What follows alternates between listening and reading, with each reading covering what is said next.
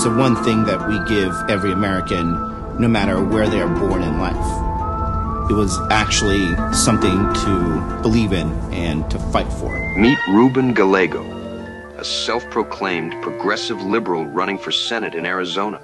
This wobbly little man has a history of prioritizing illegal aliens over American citizens. Here is some of Gallego's past work. He voted to uphold a Washington, D.C. law allowing illegal aliens to vote in local elections.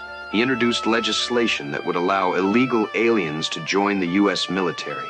He fought against protecting our southern border and called the border wall stupid and useless. He co-sponsored a bill that would strike the terms illegal alien from federal law and government documents. He voted against a motion that classified election interference as a deportable offense.